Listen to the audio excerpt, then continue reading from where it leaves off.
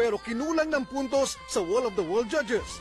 Imbes na maramdaman ng kabiguan, panay ang pasasalamat din na Kiefer Sanchez, Maki Empuerto at Francis Concepcion sa lahat. Hindi po kami sad. po. Konti lang. Konti lang. sa mga patuloy pong sumusuporta sa amin, thank you po, na-appreciate po namin yun. Marami pa pong chances. Sobrang nagpapasalamat po kami. Kasi sobrang bilib po sila sa mga Pilipino. Sana po magtuloy-tuloy po po pag-supportin po sa amin. Ah, we will work hard for you po. Pinakalma din ng TNT Boys ang baha ng batiko sa social media labang sa botohan sa The World's Best. Huwag po kayong maglala dahil hindi pa po yun yung huli.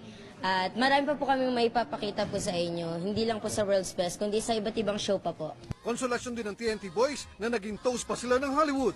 Thank you rin po sa mga Wall of the World po. Um, isa na po dyan si Miss Pops po dahil um, binigyan niya po kami ng lakas po para po bigyan po ng magandang mga performance po ang mga Pilipino.